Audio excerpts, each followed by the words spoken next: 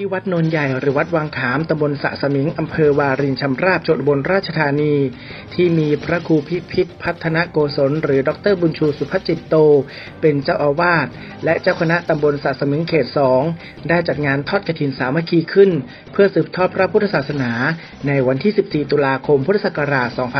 2560 โดยมีเจ้าคุณศรีรัตโนบลเจ้าคณะอำเภอวารินชำราบเป็นประธานฝ่ายสงฆ์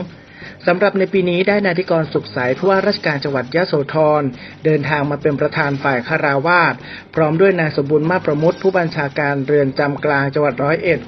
นายประจักษ์บุญยัง รองผู้ว่าการตรวจเงินแผ่นดิน นายชาญเดชเวียรกุล ผู้อำนวยการสำนักงานตรวจสอบพิเศษภาค 5 จังหวัดอำนาจเจริญ และหัวหน้าส่วนราชการ พ่อค้าแม่ค้าประชาชนจากกรุงเทพมหานคร และจากจังหวัดอื่นๆ อีกหลายจังหวัดที่เดินทางมาร่วมงานกันอย่างคับคั่ง